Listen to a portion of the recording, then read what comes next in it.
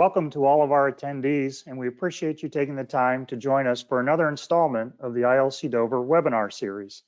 I am Scott Patterson, Vice President, Farm Bio Technical Support, and I'm excited to have collaborated with Martyn Ryder, Business and Product Development Manager for Solo Containment and ILC Dover Company.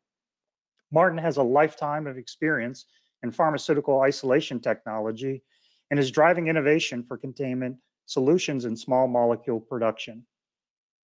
Today's discussion will focus on tools for risk assessment and selection of single-use isolator designs. So for this, this is a bit interactive. If you have any questions during the webinar, please use the chat function to send us your questions.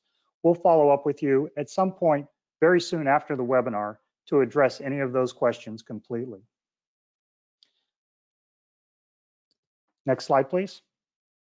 Before we dive into the technical presentation, we would like to introduce you to the global supply chain capability of the ILC Dover engineering and manufacturing network. As you can see, we have multiple locations for the manufacturing of these single-use high containment solutions. The headquarters located in the United States in Delaware is followed by state-of-the-art manufacturing in Blarney, Ireland, with our Engineering Excellence Center in Switzerland, and now with Solo Containment as part of the ILC Dover company, our operation Stockport, UK, near Manchester. So with that, I'll turn it over to Martyn for, for the launch of the technical presentation. Martyn? Thank you, Scott. Well, it's a great privilege to be talking to you all today. Now, when we're going to we're going to discuss risk assessment, and you're probably thinking, what does ILC Dover have to do with with risk assessment? Well, I want to make one thing very clear here. We're not trying to be experts in the EHS arena. We're not trying to be experts in toxicology. First and foremost, we're a containment business and we manufacture isolators to make the workplace safe.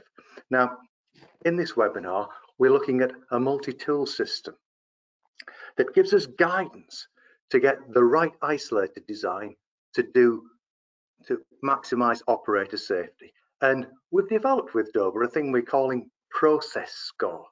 And it's used to evaluate the, the hazard and risk factors generated by a specific powder processing operation. And the process score is then used as a guide for choosing the right kind of isolator that will give us the containment performance we need.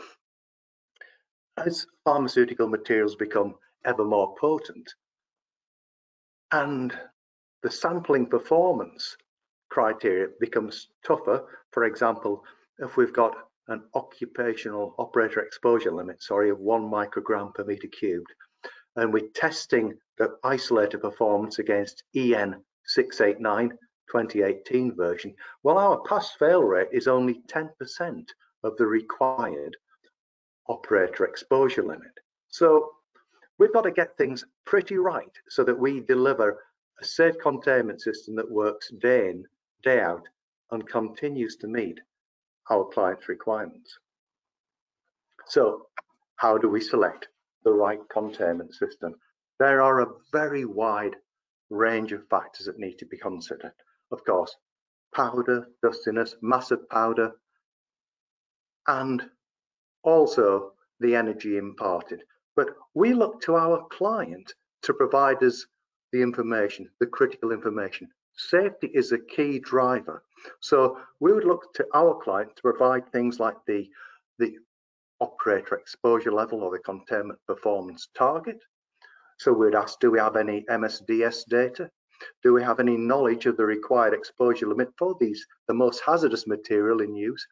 Are there any sensitizers or materials with R-phrase warnings? And of course, is there any toxicology data?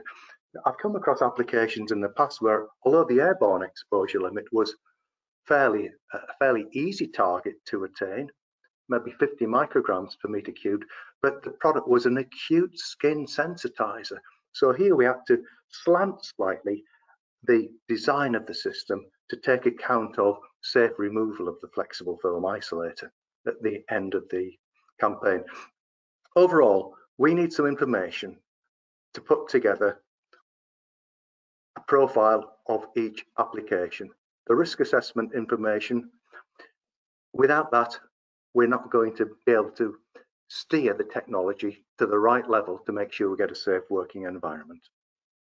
Now, I'm sure you guys have seen many of these, what I call visualization systems. Some are very good, some are very effective. Back in 1997, seems like a long time ago, we developed this containment performance uh, pyramid with extract technology. And this looked at the, the hazard brought by the uh, potency of the material, if you will, and the exposure potential or the risk factor of handling that hazardous material. And back in 97, we were looking to set up what we called a containment strategy because we recognized that not only did we need effective containment, but the strategy had to take account of operator training, development of SOPs. Without, even with the best isolator system in the world, if the operators are not working with us, we may not get reliable containment performance day in and day out. So what are the key factors we need to evaluate? We need to look at the material hazard presented by the range of materials, both respirable and dermal, confirmation of all the operator exposure limits, and not base it on OEBs. OEBs can be confusing because different companies have different band levels for the same product.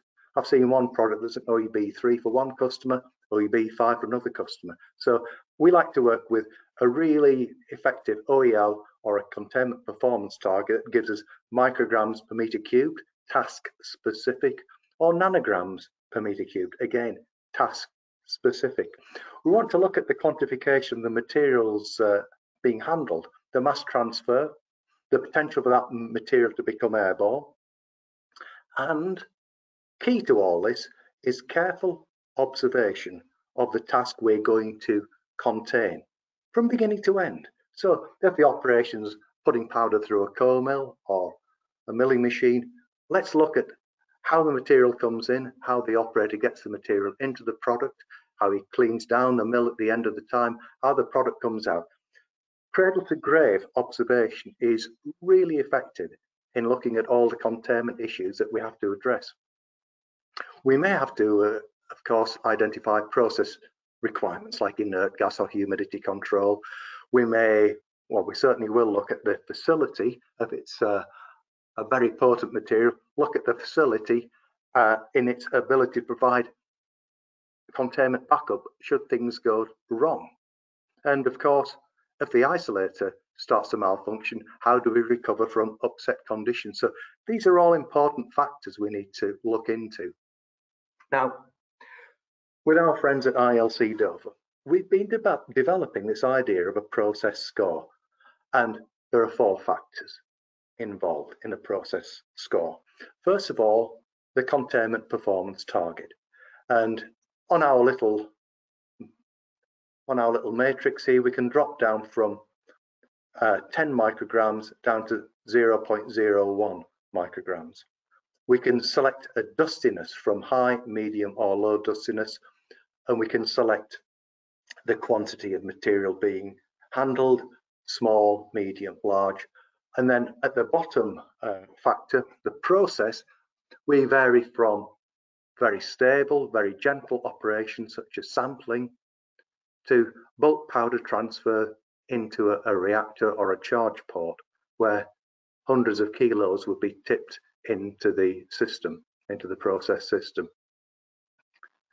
Now the process score we're using drives out a number that ranges from about 30 to 70 you say, what do these numbers mean? Well, they are only a guide. The idea of putting the four key factors together to spit out a process score number is helping us position the flexible film isolator so it does its job effectively. We're going to look at that in a few minutes. But we always say to our customer, the process score system, we've taken the pyramid type approach We've moved it on a little bit further, but this system is only as a guide. And it's a guide for our engineering people.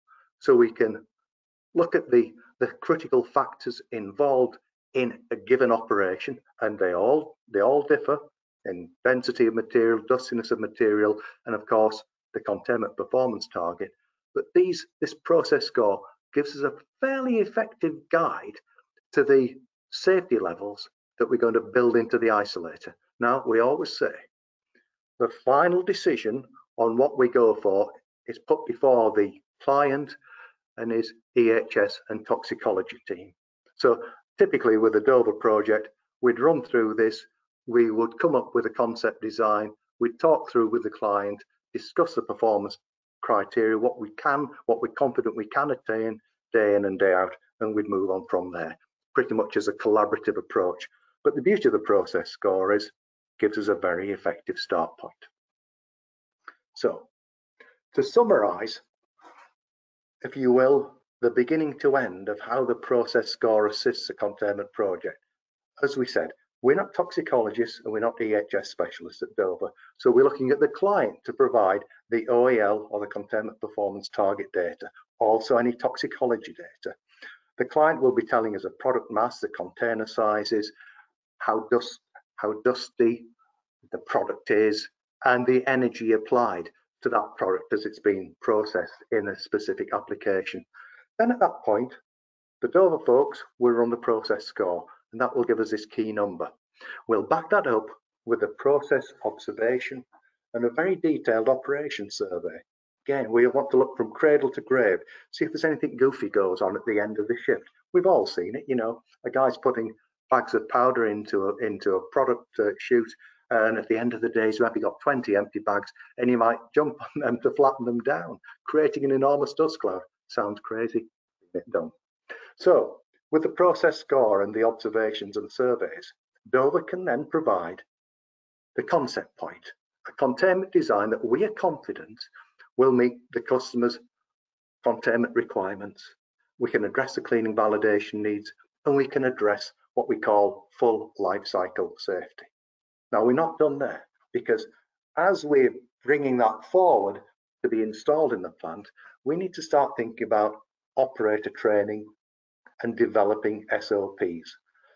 A great time to check all the standard operator procedures is during the factory acceptance test that Dover will provide for you. If we get all these steps in our in our evaluation chain right, there's a strong chance at the end of this, we'll come up with a super safe containment solution. A solution that will be safe on a bad day, if things start to go slightly wrong, etc. So, how do the folks at Dover performance band isolators? Very good question. Our stance at Dover has been full life cycle safety. We've got to make sure that the containment isolator we provide is safe when it's in normal use. We've got to make sure it's safe if we get upset conditions, and we've got to make sure it's safe during disposal. One of the key things that we recognize as containment people is if there's nothing much going in and out of an isolator, it works extremely well. And as Scott suggested to me, look at the example of a tiger in a cage. it's a bit weird, but a tiger in a cage is great containment because nothing needs to go in or go out, unless of course it's food.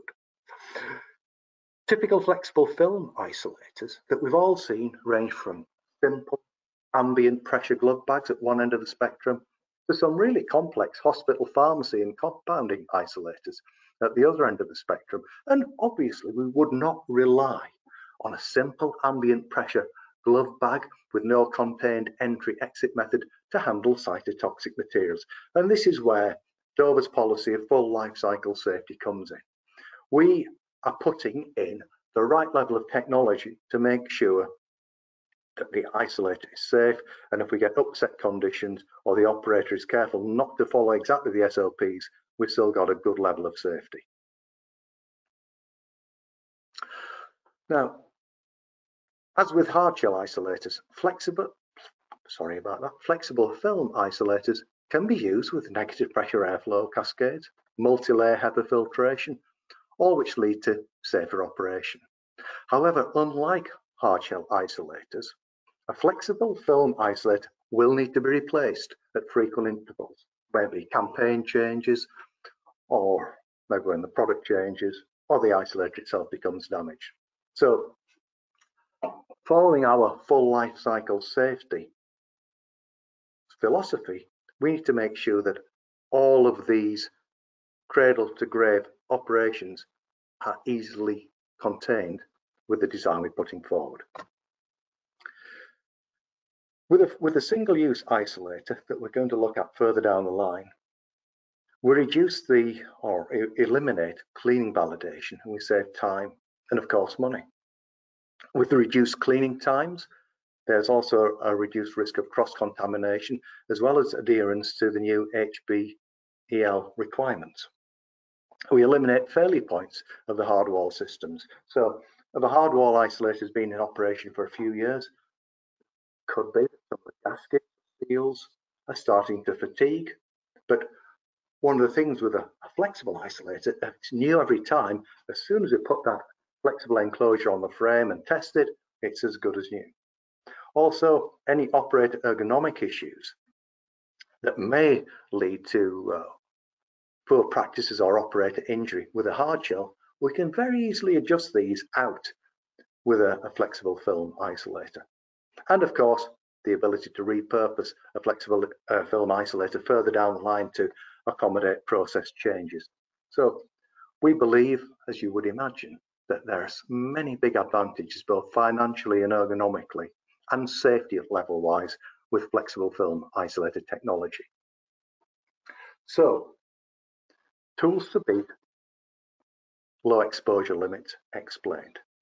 We've talked about this process score and forgive me for not sharing the matrix with you, but basically if we look at any application, it can run from, it can kick out a process score from as low as 30 to 60 plus. And as the process score increases, moving from left to right in the screen you see here, we have to add more technology to the isolator to make sure that in a bad day condition, in fault conditions, we maintain absolute safety. Also, as you'll see with the orange arrow, as the process score increases, we really need to take more care on making sure the operator training and SLP development is flawless. One of the things that we, uh, we will discuss a little bit further on is the fact that the stainless steel base pan is a common feature of many flexible film isolators.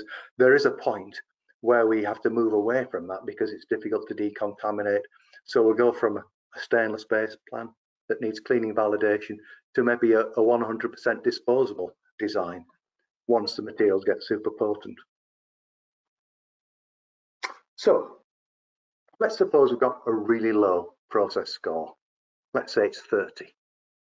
We could put on a very simple flexible film isolator suspended by bungee cords with a breather filter and it will do the job. We know Dover have got years of history testing isolators like this, lots of test data, and when everything is working perfectly well with a, a bungee supported flexible isolated ambient pressure, we'll get a great result. No question about that. These are safe isolators. But what can go wrong? Well, supposing we've got airborne dust particles inside that isolator, somebody takes a fall, pushes it down by compressing the volume of the flexible film chamber inwards, we could get a positive pressure spike. We could force air and possibly particulate out of the continuous liner. And if there's some damage to gloves or damage to the enclosure, it could mean that that particulate starts to escape. Also, with this style of isolator on a stainless base pan, we've got to put SOPs in place to make sure that the stainless steel base pan is correctly decontaminated before the flexible enclosure has been taken off. Just to reiterate this, a lot of these things have been working well for years. Nobody's saying they are risky. We're just saying that it's this design isolator is perfect for the low levels of process score. So what's the next level up? Well, if we take that isolator and we fasten it back to the frame so the enclosure is super tight, we can now run it at negative pressure. Now, when we're running the isolator at negative pressure, of course, and we've tightened it back to the frame very securely, the effect of pushing on the film It's not going to create any outbursts of particles or precious pressure shock waves because we're running it at negative anyway. If we get any holes in the gloves or sleeves or let's say enclosure damage, we're going to be pulling room air into that flexible enclosure rather than seeing any particulate migrate out of the enclosure into the workroom.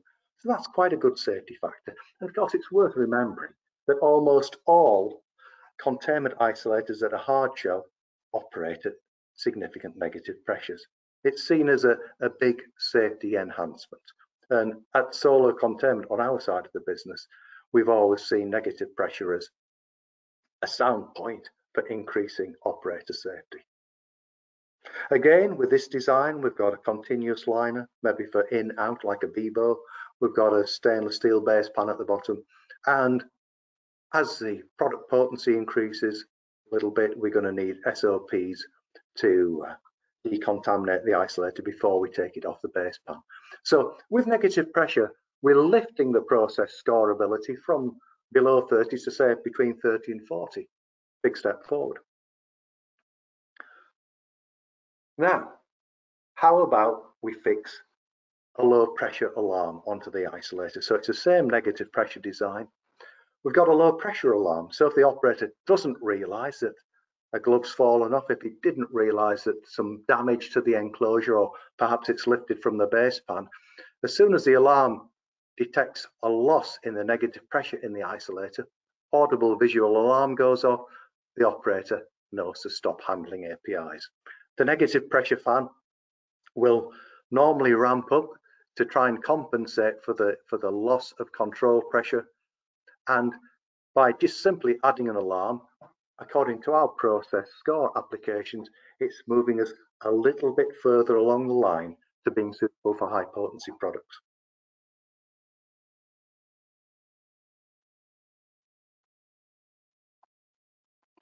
when we get to high potency products of course we're using H14 HEPA filters to control the inlet air and create that, that pressure drop from the room into the flexible isolator. We're using an H14 HEPA filter on the isolator boundary to filter any particulate. But as the as the process score is driven higher by more potent materials, it's a good and very easy and cost-effective fix to put a two-stage or dual stage H14 HEPA at the exhaust point. So if the first HEPA fails for whatever reason, we've got a backup HEPA to make sure no product enters into the fan. So here we've got negative pressure, we've got the, the low pressure alarm, and we've got dual stage HEPA filtration. So this is giving us more control, more safety if conditions go against us, if we get truly upset working conditions. Now, this is where I get a little bit excited. So when we fit the same design of isolator with automated ball valves, all of a sudden we can set up the isolator for a campaign, we can run the fan to a fairly decent negative pressure, close those ball valves and do an automated countdown to make sure that the flexible enclosure is leak proof. I love this because every time we put a new enclosure on, we press the pressure decay button on the fan and away it goes, does it test, and it tells us, yes, this flexible enclosure is safe to operate. Now, to me, this moves us a lot further on with a process score. We can confidently handle even higher potency materials now because we've got this pressure decay test. Pressure decay test reinforces all is safe before we use it. The low pressure alarm lets the operator know if anything does fail during the cycle. Let's say the continuous liner is pulled off or some glove failure, whatever. The fan will automatically increase in speed, but the alarm will go off so the operators know stop handling the API. Again, this design is probably compromised by the fact it's got a stainless steel base pan because if we're handling high potency material, there's a there's a chance that some molecules or traces of powder could get hung up between where the flexible film seals onto the base pan? And can we be absolutely sure that we get all those little pieces of trapped powder material out by doing a, a wash down and a clean down before we take that enclosure off for disposal? You know, we've had customers who have done swab testing and they can find trace elements if things are not done correctly. So our risk assessment is to eliminate some of these risks. And with our full life cycle safety, what we're looking at now at Dover is putting a flexible film on the bottom of the isolator. So the isolator is still working at negative pressure, but the HEPA filters sit below the work table.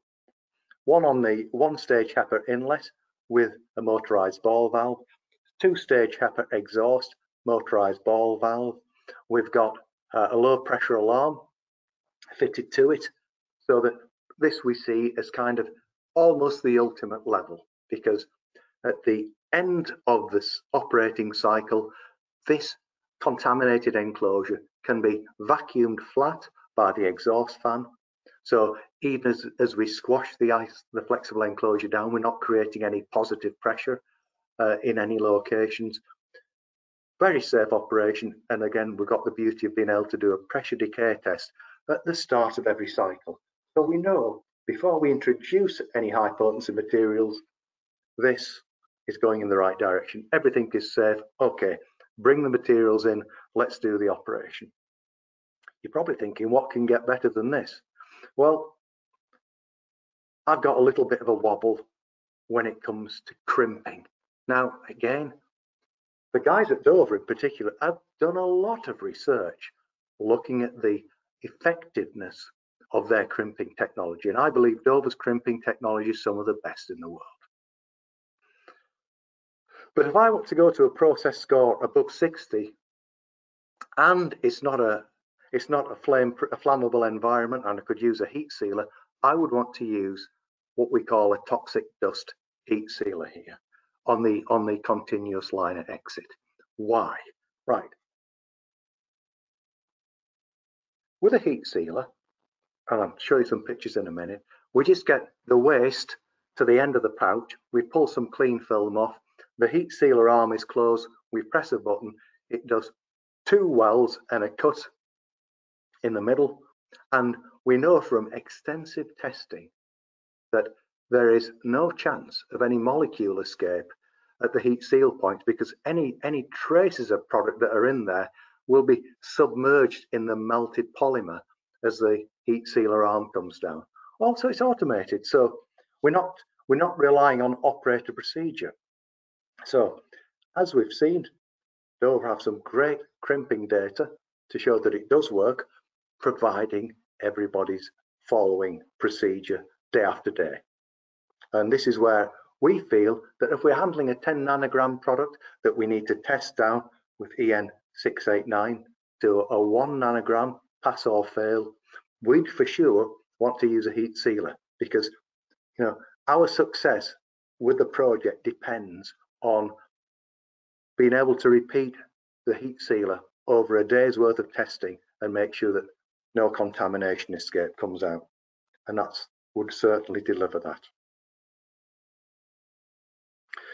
now there are some additional process considerations that we can bring in with flexible film isolators. Humidity control, uh, oxygen control. Dover have a great system called the ACM that is a PLC powered system. I think it's an Allen Bradley PLC on it. Would I be right, Scott? Yes, Martyn, the, uh, the ACM, the atmospheric control module is a uh, fully automated system uh, based on an Allen Bradley PLC. So here we get all of the bells and whistles of automation, including multiple alarms, password security, and those type of features. Mm -hmm. That's awesome. That's awesome because as well as the safety considerations, there may be process considerations. As we all say, safety is king let me just show you this image. So we talked about the fully disposable six-sided enclosure and how it can be decontaminated. So Here's one that we use for ADC toxin handling, and ADC toxins are some of the most potent materials known to man. We test these usually with the SafeBridge high accuracy assay method using the and sodium. Got quite a lot of data now, and I'm pleased to say they've all been below the limit of detection so far. But you can see if this enclosure was contaminated with something as risky as a ADC toxin, it's nice to have the fan collapse it. Yeah. All rolls up for disposal. Two-stage HEPA filter housing coming out now. There we go. Onto a table, wheel it away. So this method of uh, using a six-sided enclosure with all the bells and whistles we've discussed with the process score really does allow us to give deliver a safe system. Let me just talk you through some of the things here. Whoops. So on, on the left here, we've got, this is really Solo's equivalent of the ACM, much like uh, Scott's design. It's got the alarm beacon on front that can show a number of alarm conditions. It's got nitrogen uh, gassing ability. Uh, underneath the isolator on the extreme right hand side, you'll see there's a pot shaped device with a 90 degree bend on it. Well, that's a fully disposable two-stage HEPA filter housing that is part of the flexible enclosure. So no matter what gets contaminated in there, the continuous liner, the gloves or gauntlets, the, the HEPA filters, everything is bonded to that flexible film enclosure. So at the time of a campaign change, we let the fan run, as you saw in the video, vacuum collapse, roll it up, take it away for incineration. And on the right side of the picture, of the slide, sorry, you'll see a heat sealing operation. So we use a specific toxic dust heat sealer that uh, we import, very, very effective, very reliable.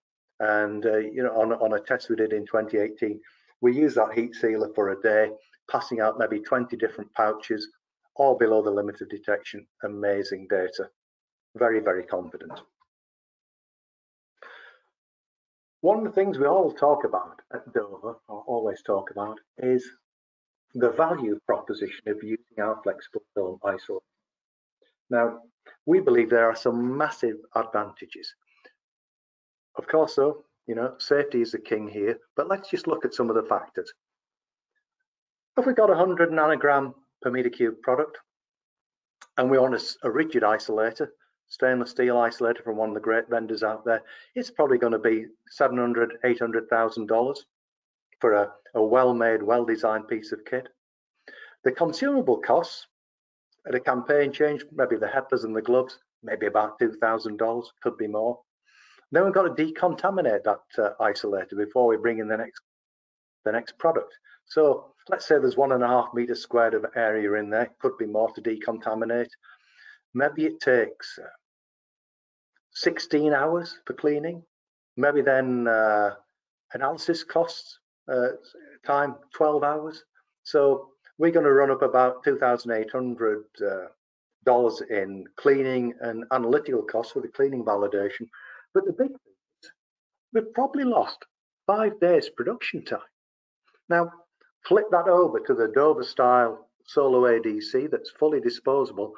We could take that isolator off and replace it within half a day. If we wanted to do a lot of retesting and validation, let's hit a maximum of one day. So let's just look at the value proposition here. So Solo ADC flexible isolator, about $70,000. Uh, okay, the complete enclosure kit sounds expensive at around $10,000, but that is everything. It's a continuous liner. It's, if you like, the isolator shell, the spill tray, all of the HEPA filters, the gauntlets. We, we're going to make that fully disposable, as you saw in the little video there. So within a maximum of one production day, we can get you back in business. And if you look at the cost of lost revenue per production day, maybe losing $500,000 with a rigid isolator versus $100,000 for one day lost with a flexible film isolator from Dover. So five day production loss, four day production win. And if you multiply that up over, uh, say, six campaigns a year, we could lose up to 30 working days uh, using rigid stainless steel isolators where we need to do the cleaning validation. Now, this presentation is all about risk assessment and it's about making sure the isolator is the right design to deliver safe working conditions day in, day out, even on a bad day, even under upset conditions. But the financial argument also makes sense. Remember with a, a, flexible film isolator, every time you put a new enclosure on, you're starting from scratch. Everything is brand new. Tested at the factory, put it on the frame, pressure decay tested on the frame, you know that nothing's going to let you down. And also, the revenue you save in not losing 30 days manufacturing time a year is massive. So the conclusions that we're coming to is at ILC Dover, we're confident that this process score mechanism and our process observation and survey methods lead to a containment system that's better matched to the process operations and the risk hazard profile. We're not setting ourselves up as EHS specialists, heaven forbid. We're an engineering house that manufactures flexible film isolators. We design them, we test them, we put them on site, we do containment testing with folks like SafeBridge and others, and we've got a lot of data behind us. Scott, may I bring you in? Is there anything else you'd like to add on this conclusion? Uh, well, Martyn, that was an excellent presentation to show that the right solution can be offered for a full range of applications and meeting what we've deemed the full life cycle safety. So, no, that was excellent to show all of the options that are available to uh, have the right capital spend to receive the right type of containment system for the uh, for for the process at hand. So, thank you very much for that. Well, thank you, Scott. My pleasure. So, guys, this is this is the end of our webinar for today. As Scott mentioned earlier, we'll be looking forward to fielding all the questions you're going to raise uh, after this, and we're here for you. We're we're interested in supporting our customers by applying these new techniques, such as the process score and our detailed survey we're developing. So, if I may, thank you for your time, and we look forward to receiving your questions in due course. Thank you and goodbye.